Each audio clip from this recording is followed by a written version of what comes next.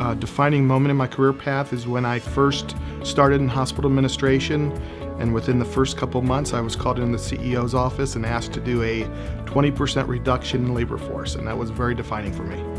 I, uh, I've always been interested in construction. Uh, very early on I started out uh, building movie theaters and when I ended up in banking and finance uh, I guess it was fate that drew me to the returning a phone call that I got from a construction company. Ever since then, I've, I've been in, involved with the finance and, and dealing with all kinds of new construction that's going on in the city.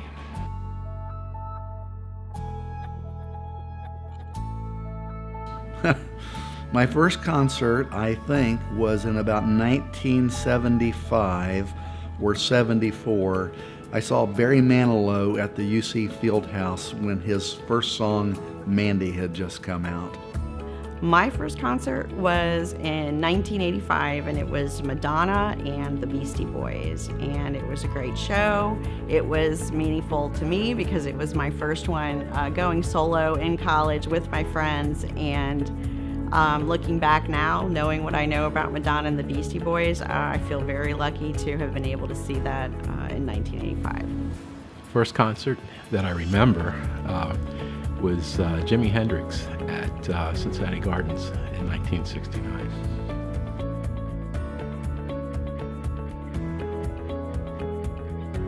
Uh, I guess I've, I've, sold cars on airplanes. Um, I'm flying with someone and he told me how disgruntled he was with his current car and uh, started talking about Lexus and before we landed had a had a deal all worked out. I was down in Fort Lauderdale, Florida and wasn't looking for any kind of new business but uh, was at an insurance convention and happened to meet a group of folks who needed some land and some new buildings up in Cincinnati and lo and behold we worked next to each other for years and never knew it. I actually do have one. The most unique place I've ever done a business deal, deal was while traveling on a Greyhound bus. So uh, at that point I was commuting back and forth. I just moved to Dayton. My family still lived in uh, Detroit and uh, was um, caught a, uh, a, Greyhound bus and I was actually uh, negotiating a real estate transaction on the Greyhound bus.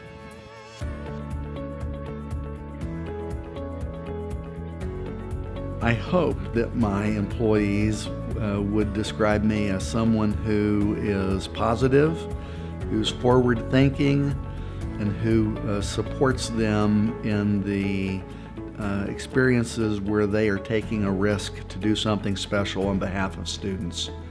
Um, I think my employees would describe me as fair but firm, also pretty creative. I come up with some pretty crazy ideas and some stick on the wall, some don't. And uh, just overall um, uh, fun to be with. Honest, fair, very down to earth and rational.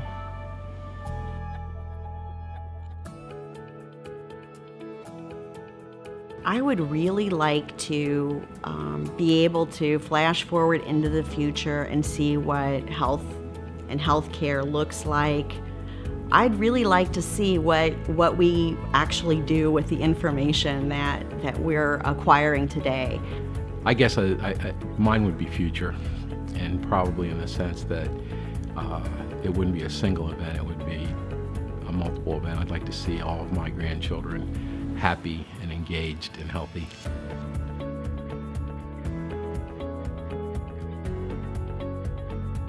The superpower, um, I guess, would be if they they had the ability to um, predict what um, a customer a customer's real objection to buying a car is because so many times it's uh, you know trying to find out to fit the right customer to the right car or to you know to find out what the uh, what what it is that they're really uh, they're really looking for. I would hire the Flash. Anybody who could build the job quicker and generate more profits and make our customers happy is who I'd want. Um, it would have to be time manipulation. I would love like time to stop and give me a few hours to get work done where there's no new requests coming in. Um, I think that would be a wonderful superpower. Um, I think I would want someone who could clone themselves into about four or five different people and and uh, be able to do all the different things that that we want to do to get get it done um, for patients and Um, probably also some of that like resiliency and positive attitude. Bulletproof. Um, I think that ego and being overly sensitive uh, can really impair uh, your ability to make good, rational decisions. So I think somebody that doesn't take themselves too seriously and can handle uh, criticism and adversity, uh, even if it's directed at them in, in a seemingly individual way, if they can handle that with grace, uh, that's an incredible attribute in my opinion. I have the uh, unique um, experience of working with many, many handicapped and at risk children whom I observe having had very few positive comments or any positive experiences ever in their lives. And so I would want to be a person who had the ability to let every child anywhere to feel important and valued and loved.